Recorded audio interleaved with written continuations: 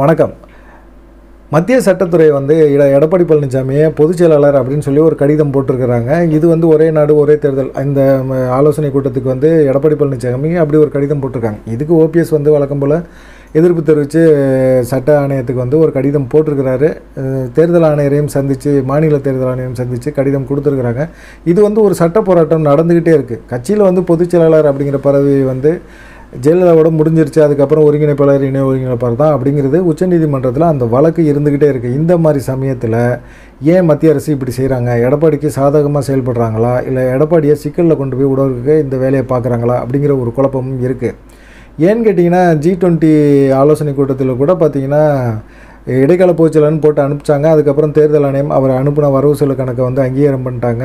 இப்போ வந்து மத்திய அரசே வந்து பொதுச் செயலாளர் அப்படின்னு சொல்லும்போது தேர்தல் ஆணையம் ஒருவேளை எடப்பாடி பழனிசாமியை பொதுச்செயலர் ஆக்கிடுவாங்களோ அப்படிங்கிற ஒரு கோபம் ஓபிஎஸ்க்கு இருக்குது அதனால என்ன செய்கிறாரு மத்திய அமைச்சகத்துக்கும் சரி எல்லாத்துக்கும் கடிதம் போட்டுட்ருக்காரு. நேரடியாக வந்து பாஜக மேலிடத்தில் தொடர்பு கொண்டு பேசிகிட்ருக்காரு அதில் சில விஷயங்கள் வந்து சொல்கிறாங்க இது வந்து எப்படின்னு கேட்டிங்கன்னா சட்ட ஆணையம் வந்து கண்டிப்பாக வந்து எந்த விதத்தையுமே அங்கீகரிக்க முடியாது. தேர்தல் ஆணையம் சொல்கிறது தான் அந்த இந்த வழக்கு வந்து உச்சநீதிமன்றத்தில் இருக்கும்போது உச்சநீதிமன்றத்துக்கு எதிராக வந்து சட்ட ஆணையம் வந்து செயல்பட போதா?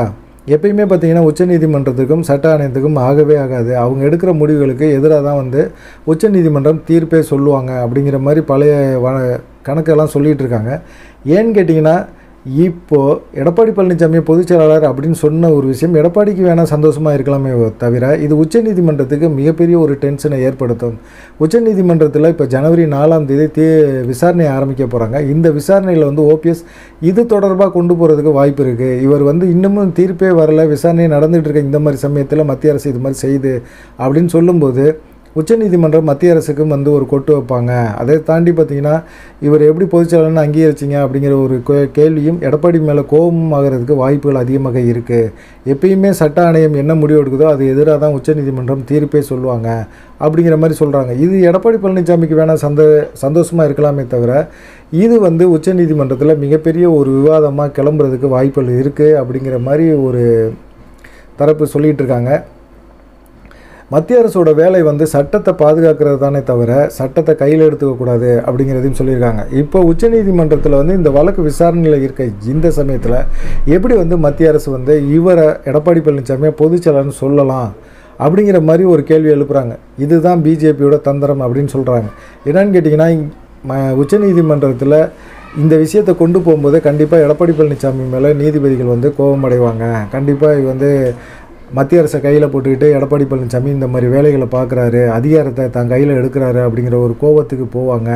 இது வந்து தீர்ப்பு வந்து எடப்பாடி பழனிசாமிக்கு எதிராக போகிறது கூட வாய்ப்புகள் அதிகமாக இருக்குது நுணுக்கமாக மத்திய அரசு வந்து இந்த விஷயத்தில் வந்து கையாளுது அப்படிங்கிறது தெரியுது.